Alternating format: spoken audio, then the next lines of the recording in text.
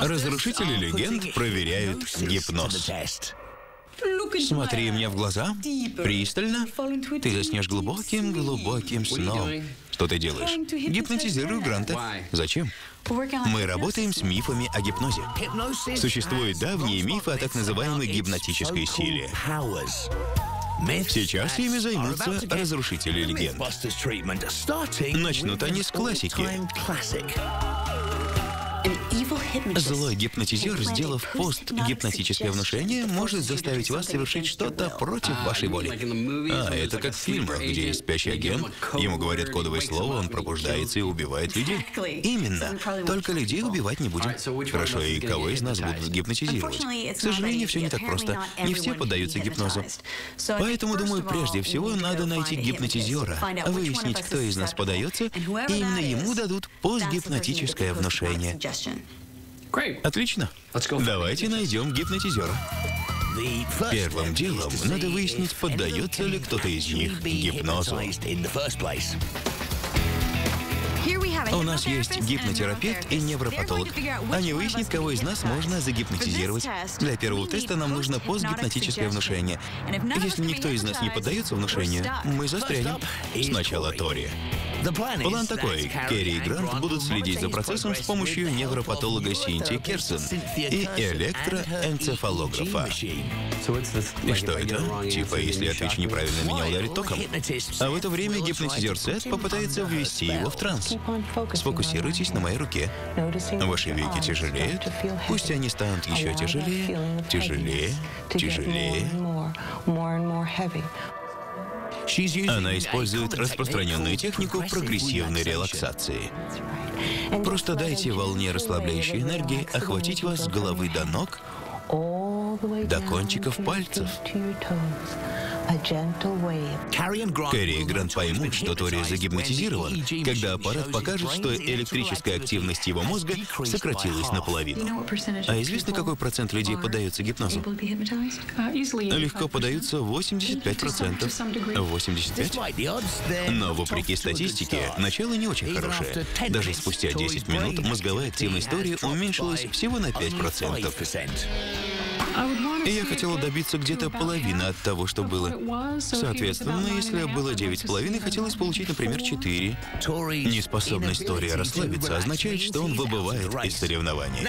Кэрри следующая, и команда возлагает на нее большие надежды. Думаю, она подходящий кандидат для гипноза. Почему? Не знаю, у меня такое ощущение. Потому что просишь ее что-то сделать, и она делает. Нет причин не в этом. Но их надежды оказались необоснованными, потому что Керри тоже не поддалась внушению. Думала, что расслабляюсь, и у меня будет сонное состояние. Но потом я так сильно старалась уснуть, что не смогла полностью расслабиться. Остался один грант. Но поддастся ли гипнозу мистер Наука? Погружаетесь все глубже, глубже, все больше расслабляетесь. Несмотря на первоначальное неудобство, через пять минут все выглядит неплохо. Как тряпичная кукла, все глубже. Аппарат показывает, что уровень мозговой активности Гранта уже упал с 9 до 4. Думаю, он в глубоком трансе и поддается гипнозу больше других. Вот, смотрите. Это означает, что нашли тот самый тип внушаемого человека, который им нужен. Грант — подходящий человек для постгипнотического внушения. Он очень внушаем. Ты выиграл. И что теперь? Ты же знаешь. Мы посмотрим, сможем ли тебя загипнотизировать и заставить делать то, что ты в обычном состоянии не делаешь. Вы же не собираетесь поставить меня в неловкое положение? Не беспокойся. Возможно ли загипнотизировать человека так, чтобы он действовал против своей воли, не подозревая об этом? С сахаром и сливками, сэр. Команда уже выяснила, что Грант поддается гипнозу. Теперь Кэрри и Тори только должны решить, что он будет делать. Меня немного беспокоит, что эти двое могут выдумать. И на это есть причины. Он не сделает ничего глупого или неуместного. Например, не станет рисовать на своем роботе большое сердце. Кэрри и Тори выдумали две постгипнотических идеи, которые можно внушить Гранту. Мне нравится, когда Тори скажет фразу «квантовая физика», ему вдруг захочется рисовать на своем любимом роботе сердечки. В нормальном состоянии он такого не сделает. А когда Керри зевнет, он подпрыгнет. Это он может сделать. Подопытный кролик Грант возвращается в кресло. Через несколько минут аппарат показал, что его мозговая активность снизилась на 50%. Жутковато, он похож на зомби. Сет хочет проверить, действительно ли он податлив, прежде чем заниматься постгипнотическим внушением. Через некоторое время я спрошу вас, как вас зовут. На счет три вы не сможете вспомнить вашу фамилию. Один, два, три. Как вас зовут? Грант. Грант. А фамилия? Работает. Он не может ее вспомнить. Грант действительно под гипнозом. И Сет начинает закладывать основу для постгипнотического внушения, начав с того, чего Грант в обычном состоянии делать не будет. Когда услышите «квантовая физика», вы нарисуете на вашем роботе прекрасное женское сердце. О боже, она только что отдала ему приказ, и он согласился, даже не улыбнувшись. Грант не может. Он не такой хороший актер, я же знаю. Хорошее замечание. Теперь второе внушение. Всякий раз, когда вы видите, как Керри зевает, у вас возникает непреодолимое желание подпрыгнуть. Она лепит из него все, что хочет. А теперь готовьтесь к пробуждению.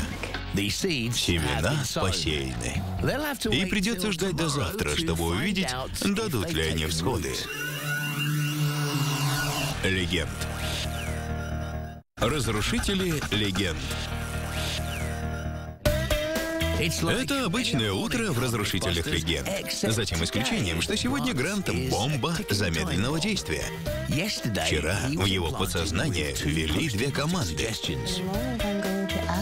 И сегодня пришло время посмотреть, дадут ли эти семена всходы. Итак, два сигнала. Мы говорим квантовая физика, и Грант вынимает маркер и идет рисовать сердечки на роботе. Затем uh, второй. Керри кивает, и он начинает подпрыгивать. В любом случае, день будет веселый. Ни Керри, ни Тори не говорили с Грантом о вчерашнем сеансе гипноза. И сам он занимался совсем другим мифом. Итак, сигнальные слова. Думаю, могу сделать такую штуку, которая быстро их всех туда затолкнет.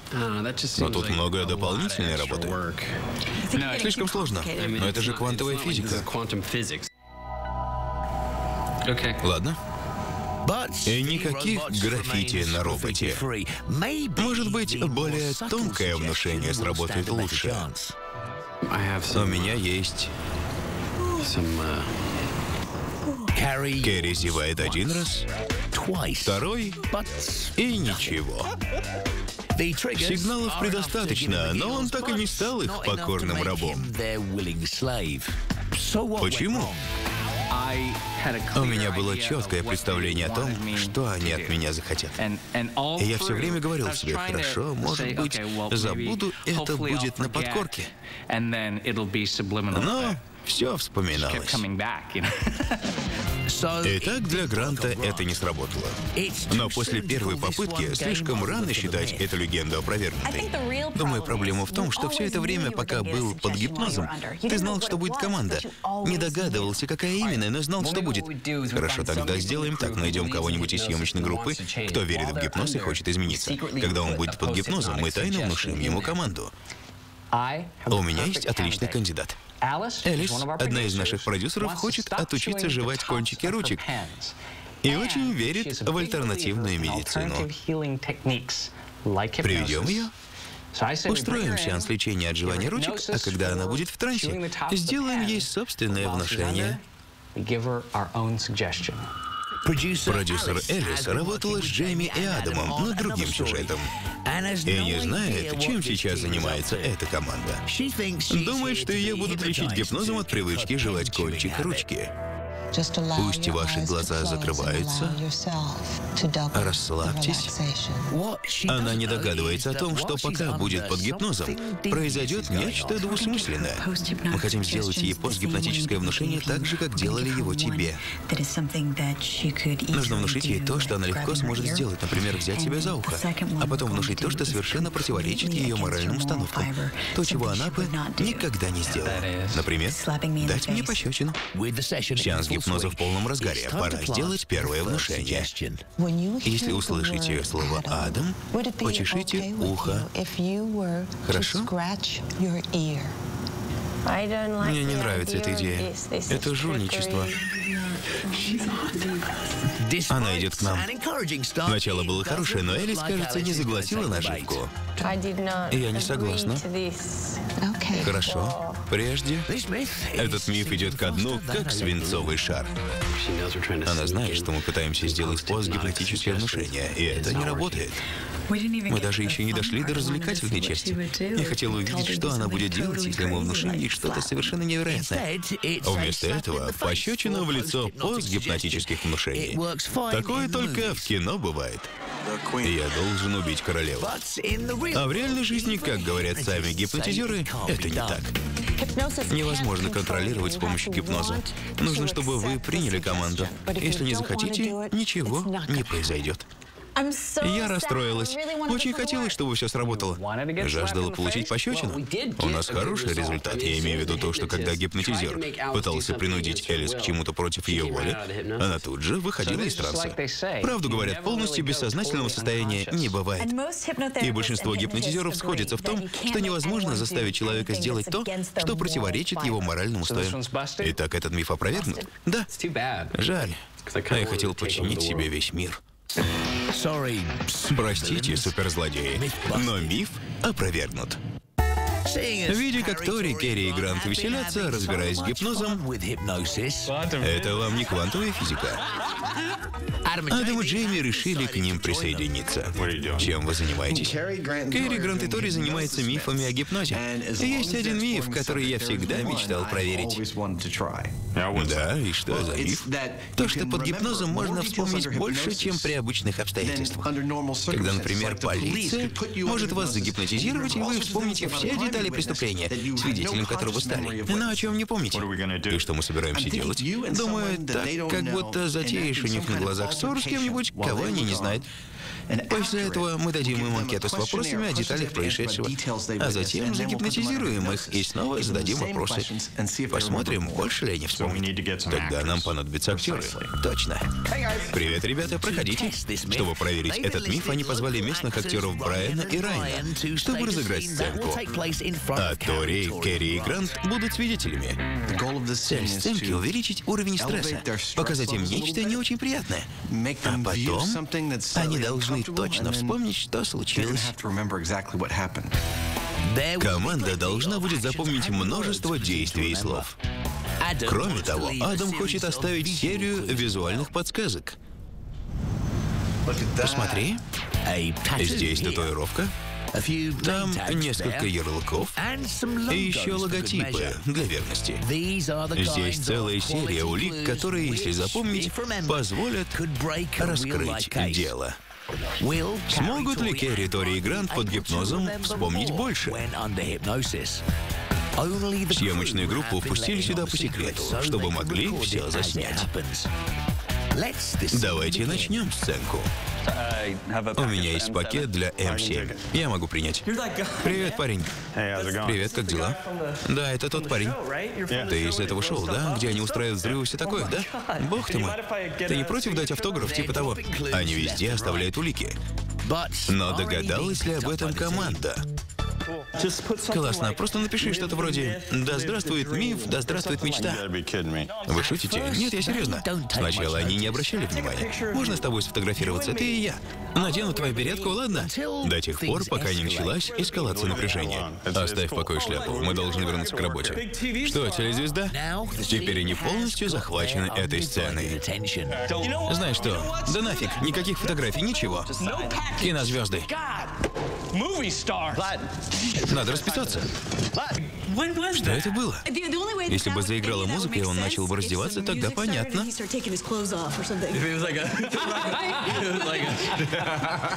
Шоу окончено. Можно раскрыть им секрет.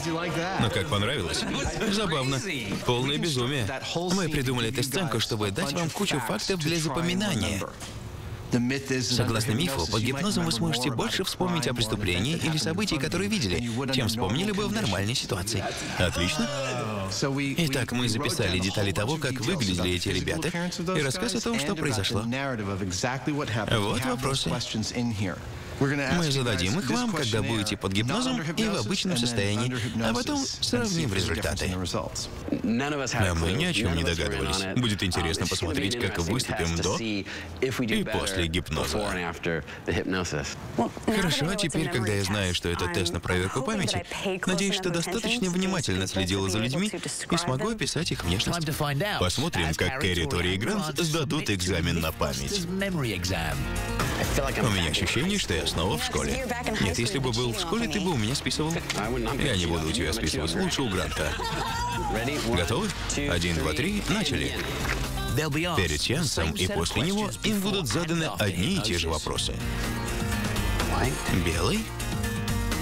Вопросы об именах виновных, их особых приметах и даже запахе. Это странный вопрос которые могут проверить объем памяти. Думаю, это все. Я закончила. Больше ничего не вспомню. Итак, какие оценки?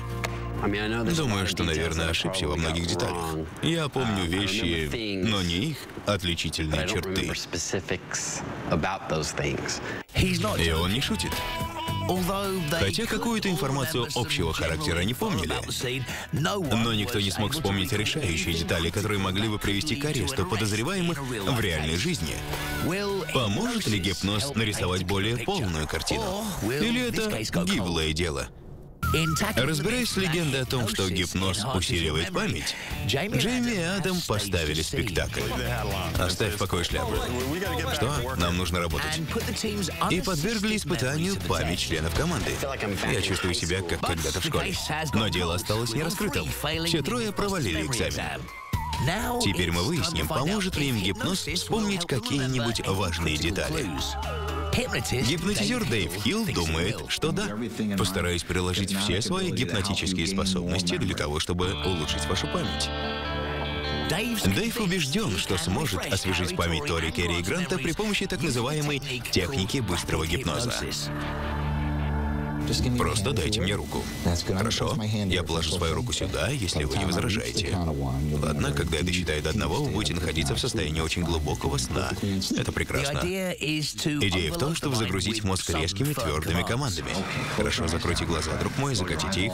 Попытайтесь открыть глаза один раз, два раза. Заметьте, не получается. Усните, ложитесь.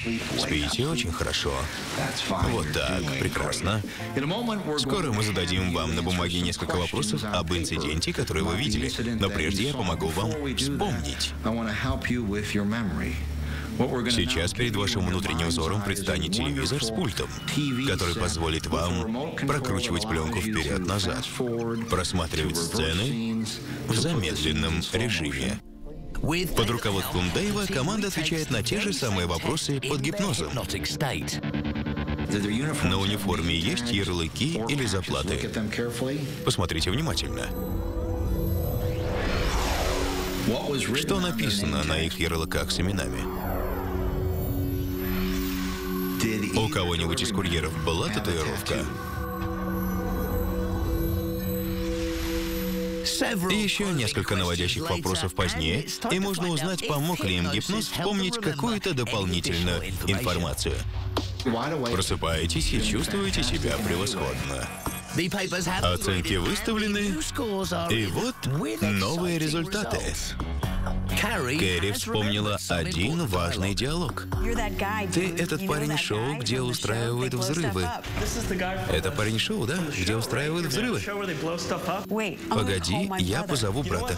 Знаешь, я сейчас быстро позову брата. Все это я вспомнила после гипноза.